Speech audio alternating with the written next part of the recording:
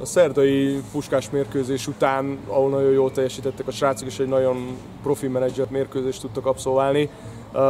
Megmondom őszintén, egy kicsit másabb jellegű mérkőzésre számítottam a Füred ellen, mint ami végül lett.